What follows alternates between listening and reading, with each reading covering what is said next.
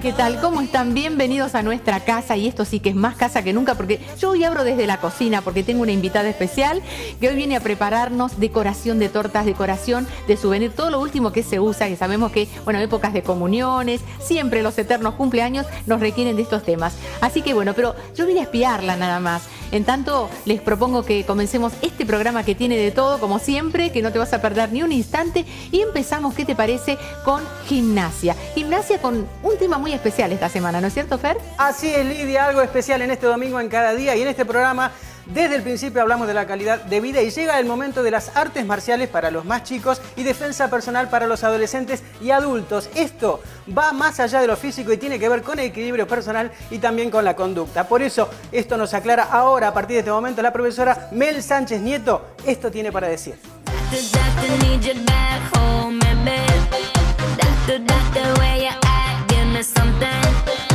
Vemos aquí un grupo de chicos que está rindiendo un examen con un maestro federado que viene justamente a tomarles este examen. ¿Qué, genera, qué fomenta en los chicos? Bueno, mucha disciplina. Esta es, una actividad donde les enseña bien el respeto, eh, portarse bien en casa. Si bien es una actividad muy que necesita mucha disciplina, el profesor lo lleva bien a menos, las imágenes nos muestran que si bien están tomando examen con el gran maestro, el sabón les da un, que para que ellos estén más tranquilos, pero bueno, este, es toda una disciplina bastante rigurosa, ¿no? Este, les enseña la humildad, que se porten bien, esto no, no los tienen que hacer en la escuela, no se pueden pelear, este, el profesor les dice bien, les enseña que es, bueno, si se pelean, este, ellos no pueden aplicar esto en la casa, ni, eh, ni afuera, ni en ningún lado. Eso lo deja bien, bien en claro el profesor. Este es una disciplina donde se, es un conjunto de técnicas, de patadas y, brazos. Bueno, y ahora está mucho más conocido por la medalla olímpica, ¿no? La de oro. se hizo un poquito más conocido. Este es Taekwondo WTF que nos permite este, competir a nivel mundial desde los cinco años ellos empiezan a eh, todo el sentido del respeto, empiezan a tener más noción, empiezan a entender el significado ¿no? de la disciplina y de lo que se quiere enseñar. Vamos a hablar un poco también de defensa personal. Sí, defensa personal. Eh, también con el mismo profe este, enseña bien, bien lo cotidiano, en lo que pasa ahora, cómo defenderse si te atacan este, al entrar a la casa, al salir, a entrar el auto, a sacar el auto. Esto por supuesto está dirigido a adultos. Sí, este, a, partir de los 14 años, que también hay que enseñarle toda la disciplina, es también un, entrenamiento mental, donde bueno, nos tenemos que capacitar en decir, bueno, si nos vienen a atacar, cómo reaccionar. Eso es todo un entrenamiento mental y físico. ¿Está pensado para mujeres también? Sí, más destinado a las mujeres, cómo defendernos con una botellita de agua si salís del gimnasio, este, las llaves, cualquier cosa que tengas a mano, la cartera, una soguita, una piedra, cualquier, cualquier cosa que tengas en mano eh, este, se puede aplicar la defensa. Muchas gracias, Mel. Muy bueno el conjunto de hoy. Bueno, muchas gracias.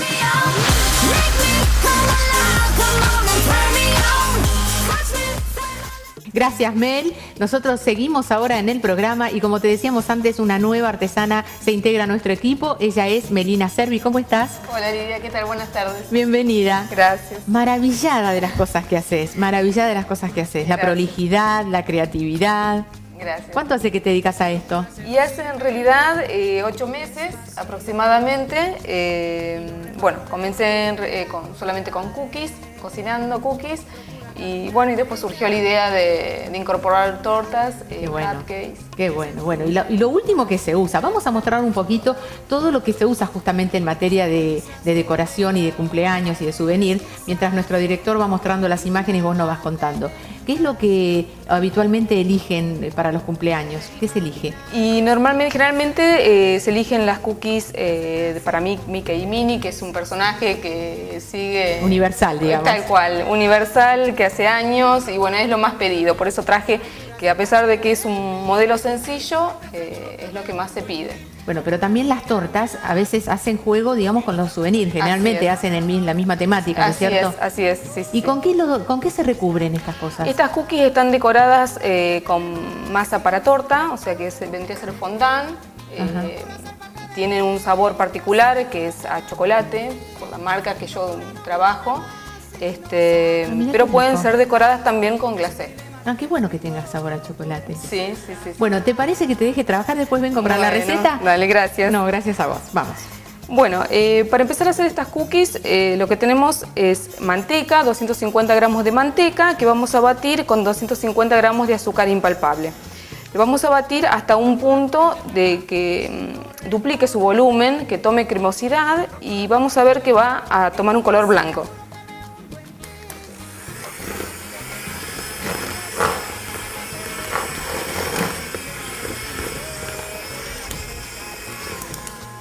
Bien, eh, como les decía, eh, llegado a este punto de cremosidad, eh, le vamos a incorporar un huevo y esencia. Puede ser esencia de vainilla, esencia de limón, eh, lo que a ustedes más les gusta. Vamos a seguir batiendo un poquito para integrar.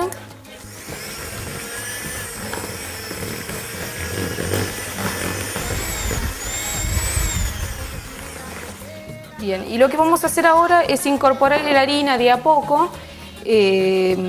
Vamos a tratar de, seguir batiendo y incorporar lo que más se pueda con la batidora.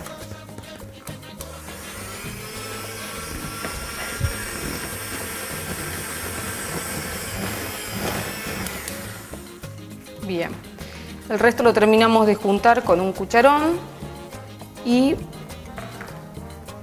incorporamos la masa, eh, lo que más podamos, sin tocar demasiado para no darle calor con las manos. Esto vamos a tratar de formar una masa. Una vez que hagamos el bollo, lo, estiramos entre dos, entre dos eh, papeles films. Lo vamos a estirar con un, con un palo. Eh, lo estiramos y lo vamos a llevar a la heladera por un lapso de eh, una hora, no menos de una hora, para que luego que después cor- cortemos la masa, esto no se nos eh, deforme las galletitas. Una vez eh, que retiramos la masa de la heladera, vamos a cortar las cookies, las vamos a colocar en una placa apta para el horno y las vamos a llevar a horno precalentado, 180 grados, aproximadamente por eh, unos eh, 10 minutos. Transcurrido los 10 minutos que vemos que eh, los bordecitos ya están tostados de las galletitas, las vamos a retirar, vamos a dejar enfriar y las vamos a decorar. Yo acá traje ya con color la pasta, en este caso negra para hacer, eh, para hacer a Mickey Mouse. Juntamos con un poco de dulce de leche la galletita, lo suficiente como para pegar y tratando de no llegar a los bordes para que no rebalse eh, luego eh, la, la pasta. Bueno, y en este caso que vamos a hacer a, a Mickey Mouse, la parte de abajo que simula hacer el pantalón, eh, lo, lo hicimos con color rojo y esto podemos pegarlo con un poquito de agua o con CMC, pegamos y hacemos dos bolitas de masa blanca como para simular sean los botoncitos del pantalón de Mickey Mouse. Genial, me encantó. Unos ojales. Rico y lindo lo que preparó Medina es muy hoy. rico. Es sencillo, como una primera entrega. Y sí, sí, sí. y Ya queda vamos a ir, vamos a- ponerle a la cámara para que vea ahí. El terminado. con los botoncitos. Y bueno. Melina, como es, es, es lindo, es rico, así que también hay que darle receta, ¿te parece? Dale. Vamos a la receta. Muchas gracias por estar con No, nosotros. por favor, gracias a ustedes por invitarme. Por supuesto que tienen que recordar que a todas nuestras especialistas las pueden ubicar en nuestro Facebook y bueno, allí todas eh, van a responder las dudas que hayan quedado de cada segmento de, de este programa. ¿eh? Vamos a la receta entonces de las cookies y llevan harina 600 gramos, azúcar impalpable 250 gramos, manteca 250 gramos, huevo 1, esencia de vainilla cantidad necesaria y una pizca de sal.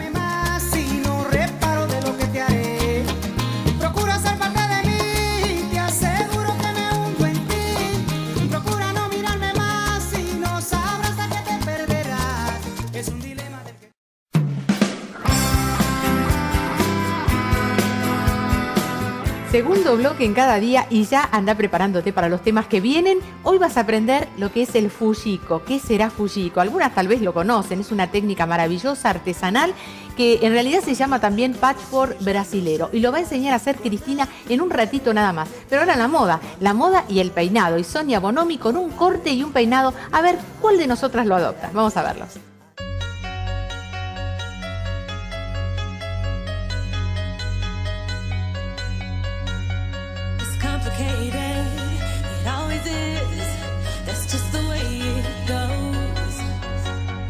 Hola Lidia, eh, bueno una vez más estamos con una propuesta, en este caso con Sofía, eh, que lo que hicimos es un corte totalmente eh, con máquina, que es una de las nuevas tendencias que tenemos para las jovencitas y también es para quitar volumen.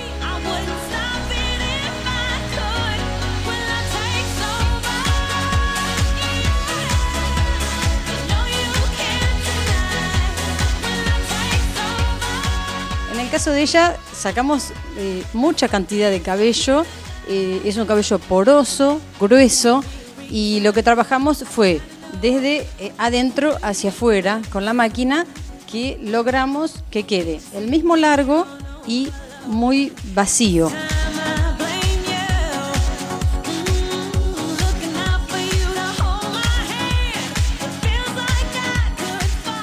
Bueno, era algo de lo que habíamos hablado con Sofía. También hicimos un flequillo que no lo tenía y bueno, eh, se animó a cambiar un poquito. Y bueno, estamos eh, acá eh, con todas las propuestas ya para la primavera-verano. Y bueno, tanto en corte como en color también, las esperamos cuando quieran.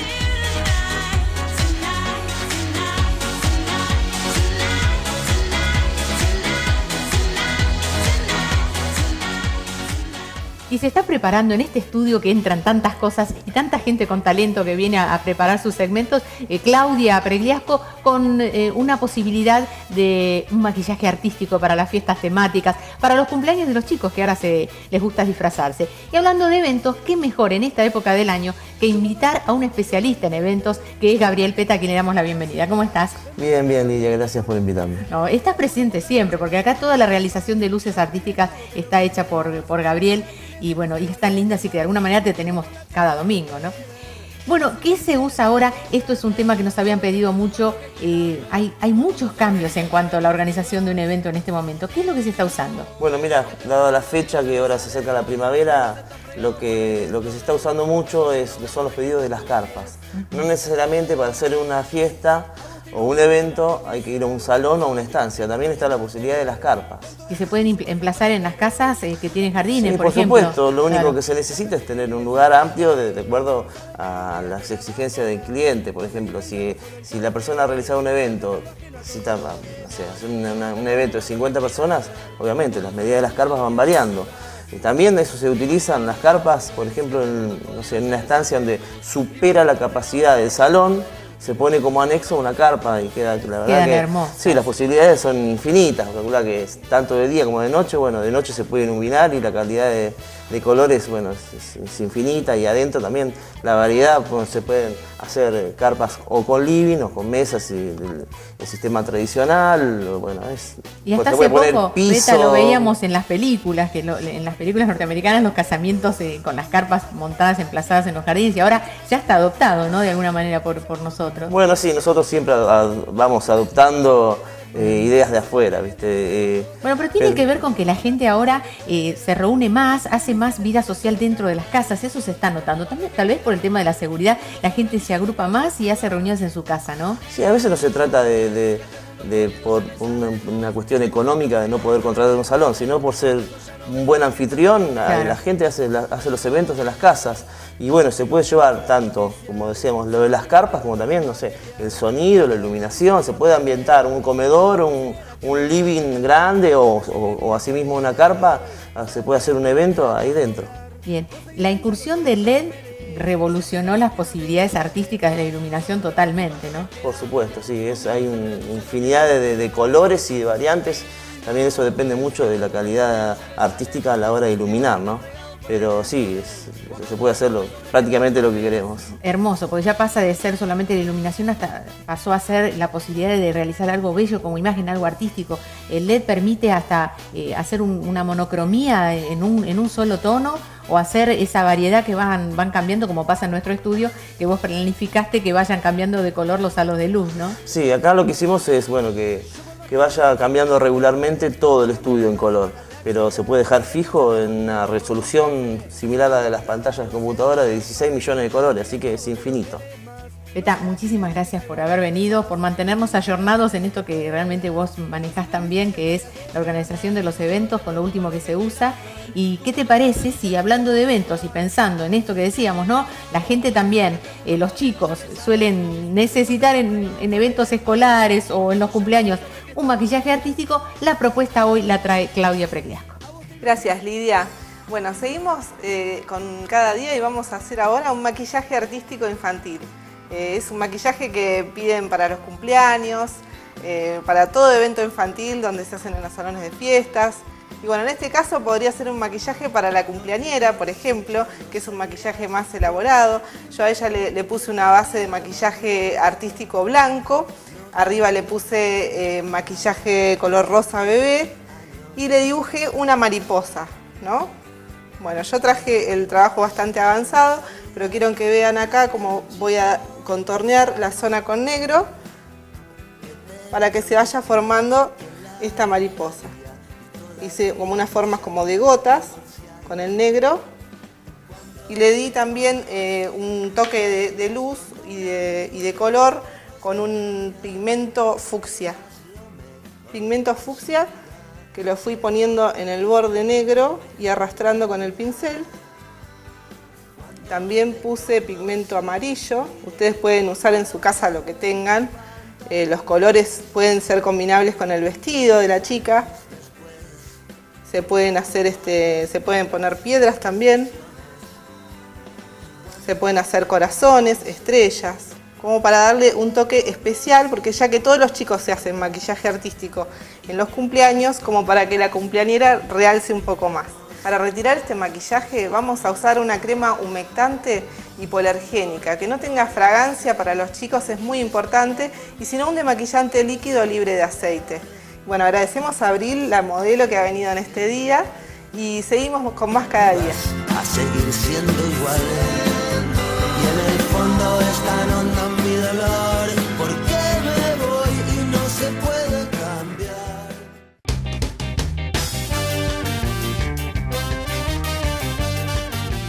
Último bloque en cada día, pero todavía muchas cosas para compartir con vos. Y si sos de aquellas personas que mucho no dominan la costura, pero aunque sea, mira lo que te pedimos, sabes enhebrar una aguja y hacer un simple pespunte, prepárate a disfrutar de esto que vas a ver ahora. Se llama Fujiko y lo presenta en nuestro programa Cris Salcedo. ¿Cómo estás? Bienvenida. Bien, muchas gracias. No, al contrario, nos encanta conocer nuevas técnicas, eh, nuevas en realidad para darlas a conocer, pero ¿el Fujiko es antiguo? ¿Es una técnica bastante antigua o no?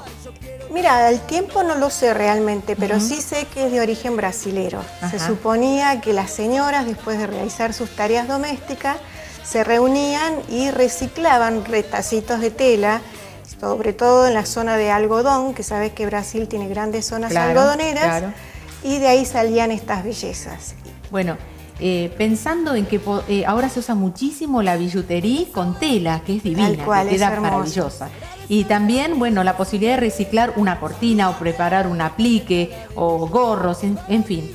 Con pequeñas porciones de tela se hace esto. Son retacitos, de hecho esto se llama patchwork brasilero también, porque son pedacitos de tela que Muy se bien. les va dando un ¿Y hoy qué nos valor. vas a enseñar a hacer? Hoy vamos a hacer una de las florcitas porque la vedette del Fujiko son las flores. Las flores. Y tiene muchas. Y hoy vamos a hacer una sencillita para que las, los televidentes lo puedan hacer. Bueno, te dejo ¿Eh? trabajar. dale. Gracias. Gracias. Bueno, para hacer esta técnica que es hermosa, yo sé que les va a gustar, necesitan retazos de tela de algodón. Van a necesitar también moldes. En este caso yo lo tengo cortado en cartulina, pero ustedes pueden usar una copita, un vasito, lo que tengan a mano, para marcar círculos en esa telita de algodón. Yo acá los tengo marcados y acá ya se los traje cortaditos. En este caso yo traje de dos tamaños porque vamos a hacer una florcita de dos tamaños de pétalos. Cada círculo corresponde a un petalito, son 5 por flores. Este tiene 7,5 centímetros de diámetro y en este caso tiene 5 centímetros de diámetro.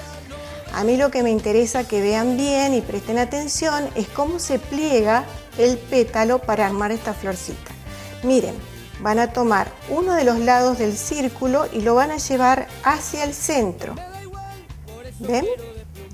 Toman el otro, lo llevan también hacia el centro y después pliegan al medio. ¿Está? Lo repito otra vez para que les quede bien clarito. Plegamos al centro uno de los lados, plegamos el otro también al centro y después plegamos en el medio. Este es el primer petalito. Con una aguja y con hilo bien fuerte, vamos a ponernos primero los anteojos porque tenemos que hacer bien prolijito el trabajo.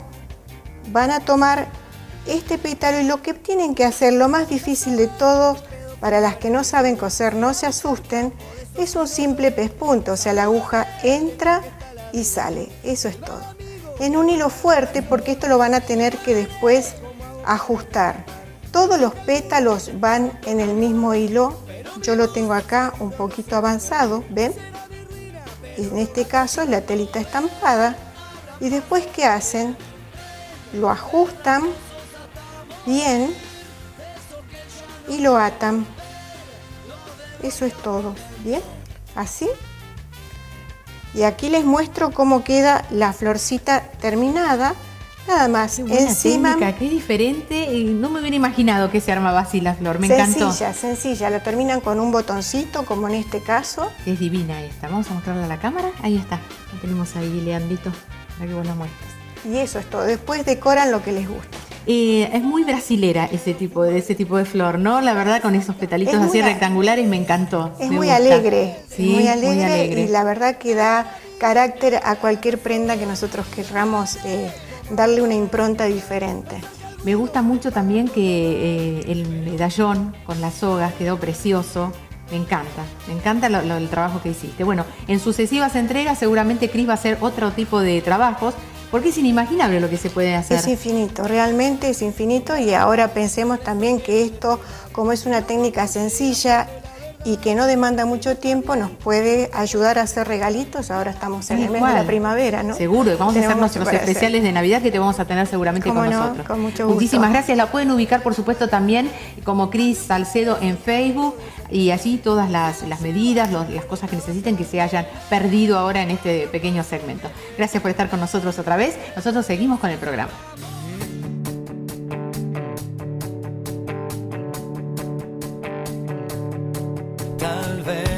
Pasamos ahora a un tema que involucra a muchas personas y es el sobrepeso. ¿De qué manera se encara hoy un buen tratamiento para bajar de peso? Indudablemente interdisciplinario tiene que ser, donde justamente intervienen diversas eh, profesionales que te van llevando por ese buen camino. Pero a veces ponemos trabas nosotros mismos a esto. ¿Cuál es la muletilla que solemos usar? No tengo voluntad para bajar de peso. ¿Es realmente así? ¿Hay que tener voluntad para bajar de peso o influyen otros factores realmente? De eso nos habla hoy la licenciada Sandra Tamburini.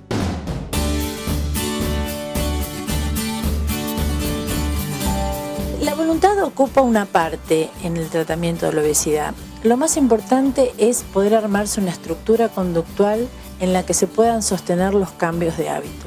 ¿Qué quiero decir con esto? Que una persona va a tener que por lo menos tener un sistema en el cual ir al supermercado cada 15 días, tener las cosas que más le guste y que se puedan comer dentro de la heladera, como recursos cuando tiene un ataque de dulce o está tentado con, con algo fuera de plan, tenga alternativas que las nutricionistas dan y muy bien en la educación nutricional. Por eso es muy importante armarse las rutinas y que las personas descansen sobre esa rutina y no dejar todo librado a la voluntad.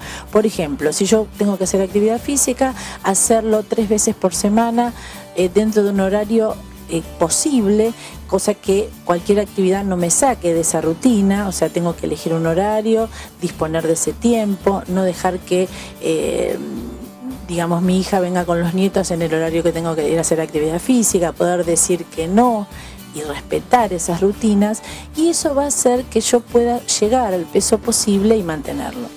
Por eso la voluntad no es solo, este, o no alcanza solo, sino que eh, un sistema, un orden y una rutina es lo que me va a permitir mantenerme en peso.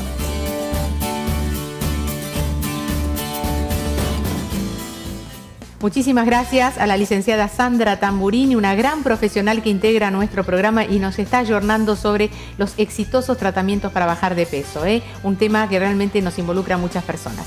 Ahora, bueno, Fernando, llega al final nuestro programa. El final del programa y miraba el guion, tantos temas que han pasado hoy y realmente sí. todos aprendimos mucho. Vos sabés los comentarios de la gente en nuestro Facebook siempre, ¿por qué dura tan poquito el programa?